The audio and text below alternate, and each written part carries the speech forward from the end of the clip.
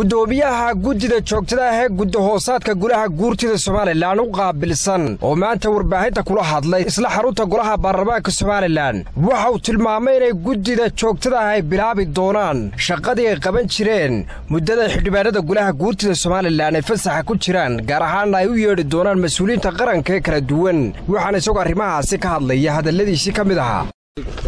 Guddi joogta ahaan ee golaha guurtida ayaannu maantaanu hawshayadii bilownay. Hawshii aannu qaban lahayn iyo wixii aannu qaban lahayn sidaannu u qaban lahayn ayaannu hadda gallay oo mudanayaashu ka doodayeen. Dabeetana ayadoo tifaftiran ayaa laydin siin doonaa wakhtiga berrito iyo saadama wakhti alla wakhtigii alla ka dhigo oo aada u ballaadhan waxyaabahaanu qabanayno waxyaabahaan cid aanu la kulmi doonno meelaha aanu booqan doonno insha allahu tacaala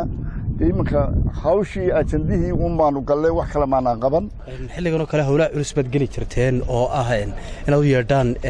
mas'uuliyiinta xukuumadda oo ad wax ka weydiisaan. Waana wakti aad fasax ku jirtaan golihiinii kale. Bal maxaa idiin qorshaysan shaqadiinii qorshahaasun wuu jiraa meelo waxaan ku idhi waanu ziyaaran doonaa wasaarado arrimahoodu taagan yihiin way jiraan waanaanu u yeedhi doonaa ajandahay ku jirtaa ajandihuna berita iyo wixii ka dambeeya helaysaan calaa kulli xaal kormeeraanu u tegi doonaa insha allahu beeraha wasaaradda beeraha xabsiyada waa ku tala jirnaa haddii alla yidhaahdo inaanu tagno oo aanu ya jeelasha xabsiyada waanu u tegi doonaa insha allahu si loo ogaado baxaalaadka ka jira